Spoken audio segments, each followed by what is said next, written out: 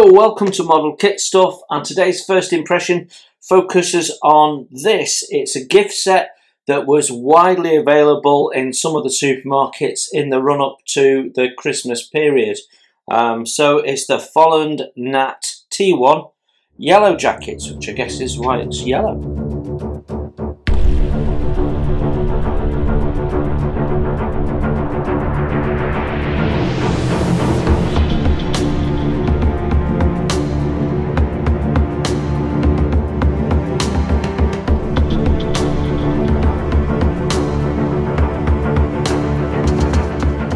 So this is one of several kits that were being marketed by Airfix through the supermarkets at a budget price.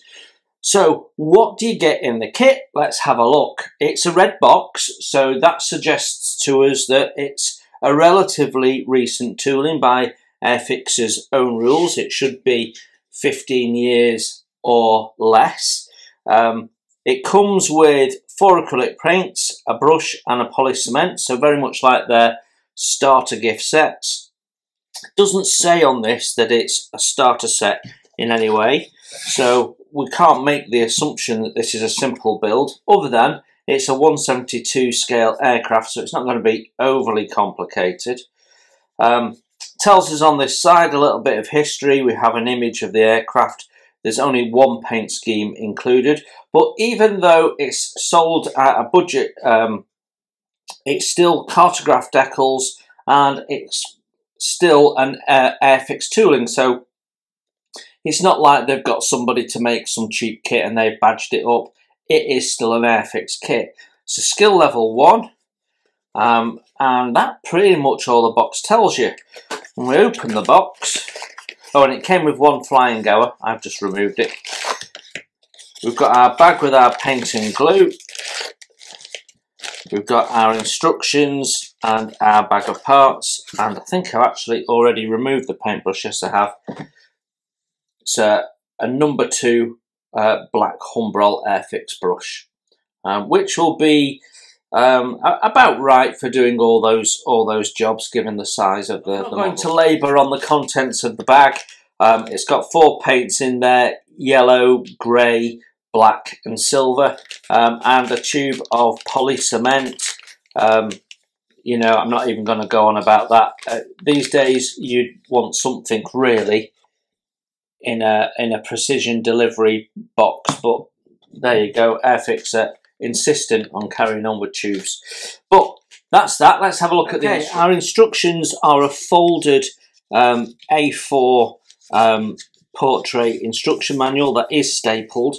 Um, we've got some warning messages in several languages, a little bit of history and specification again in several languages, and that carries on through the next couple of pages. We have some uh, brief notes on um, building the kit and then the assembly icons that are used throughout the kit.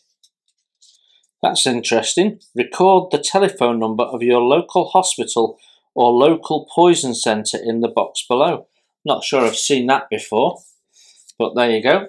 Um, it's certainly there. Maybe it's a requirement for some countries, I'm not sure.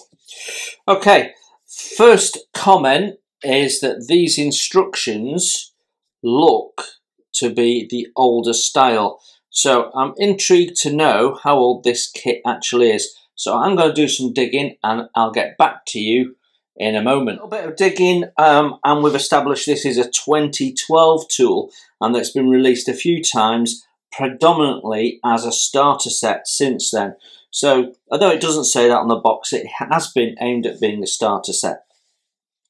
Construction starts with our cockpit. You can see the uh, seat going in there against the bulkhead. Then we've got the uh, cockpit floor control sticks. Um, instruments going in, um, two sets. Um, then we're putting in some um, internal detail which also incorporates um, the air scoops um, and cockpit details all going in. So that should look okay, painted up. Um, then we've got our familiar silhouette system, whether we're having gear down or gear up. Um, so slightly different configuration um, depending on what you're doing. Obviously we don't need this detail in there if it's going to get covered up. Um, and then as we flip over, we're at step 16. So the steps are broken down fairly nicely. Um, we're then painting the inside areas and adding our simple but built up cockpit um, into the two into the fuselage half and then bringing the two fuselage halves together. Um, yet again, we see that they're referencing a, a, stand that they haven't made for years, and then we've got. All right, okay, so a little bit of drilling of that part if you want to put the stand in, and then it shows you fitting that part. Um, building the uh, gear up or down. So um, only building it if you're going to be using it. That's the front nose wheel. Um, was there any talk about weight? Is there a requirement for weight? I don't see that there's been... No, I don't think so. In fact, is there weight on the key? Yes, there is. There is weight on the key, but uh, they haven't mentioned that there's any nose weight required.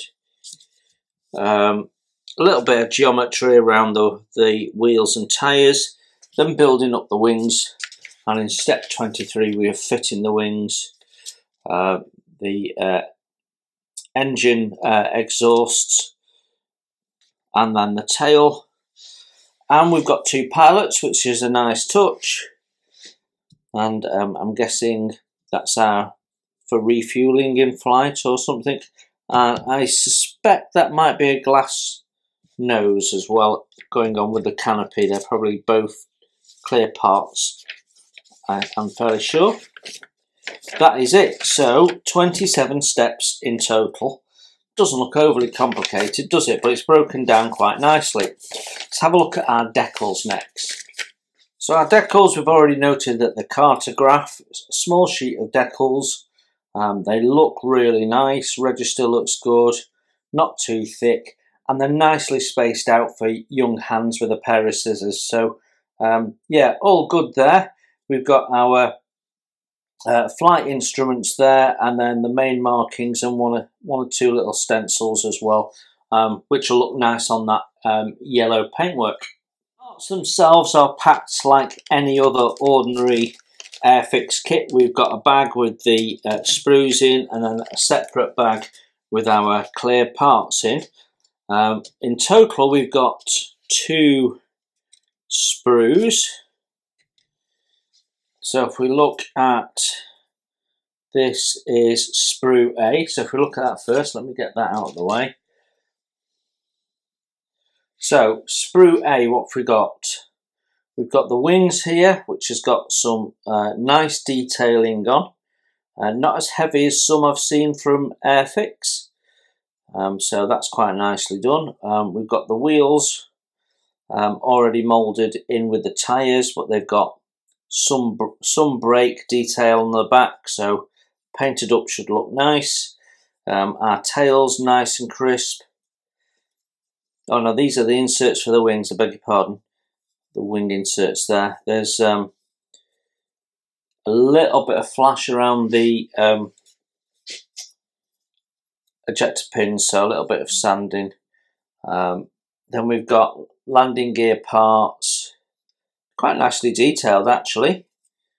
Looks like the two halves of the front uh, wheel, uh, engine outlet, and then our two figures, which have the same same pose. Yeah, there's nothing Nothing majorly wrong with what you've got there. And then looking at our second sprue, we've got the two fuselage halves.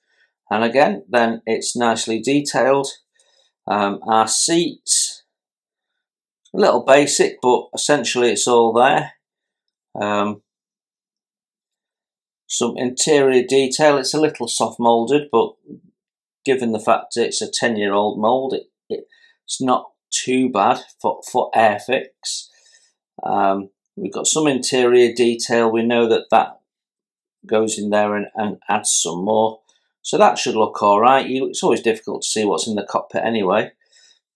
tails nicely done. A little bit of seam to clean up. You can just see there, seam edges are a little bit um, overdone. There's no flash on it though. Yeah, should build up quite nicely. So assuming that the fit's okay, should be should be nice. I would suggest there might be a little bit of work to get this to fit together, but not a lot of work to clean it up and get the parts ready. And then finally we have our clear part which is a single piece canopy so there's no options for open it's just closed and then the little piece there that's for our nose. It's all very clear, looks nice. The moulding, um, although soft, is fairly pronounced, so should be not too difficult to paint up. Unfortunately, um, I have a little bit of spidering in mine, which uh, you can just about see there maybe. Um, but, you know, is what it is. It's a budget kit. You're getting uh, a budget kit. So there you have it, the 172 Folland Gnat um, yellow jackets. Um, like I say, a budget kit sold in supermarkets in the run up to Christmas. What's my first impression? Well, you know, I, I, as model kits go, um, it's okay. It's not going to blow anyone's socks off, but what you've got to think about is the audience and the and who they're aiming this at. And this is being aimed at stocking fillers probably for, for youngsters, but I'm guessing, like me, some grown ups get them as, as gifts from youngsters. Um, so, yeah, um, it will build up okay. Um, anyone with some skills should be able to get a, a, a good display piece out of it. Anyone new to the hobby or relatively new to the hobby shouldn't have much difficulty getting it together, although I suspect there might be one or two um, uh, fit issues that you've got to work through to get it to go together okay, but I might be wrong. Um, yeah, I, it, I, I think it's okay.